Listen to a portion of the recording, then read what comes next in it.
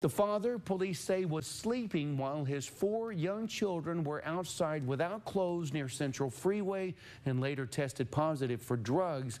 Pleads guilty to child endangerment and abandonment.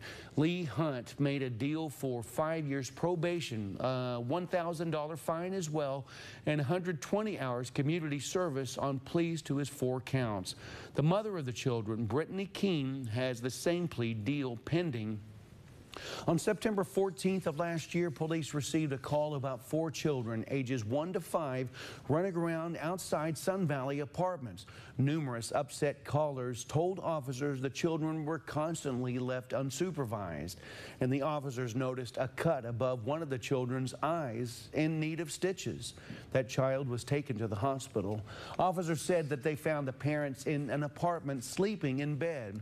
They said neither parent knew where their children were. Child Protective Services removed all four kids from the home, and police say that all four later tested positive for methamphetamine and marijuana. Keene and Hunt also tested positive for the same drugs.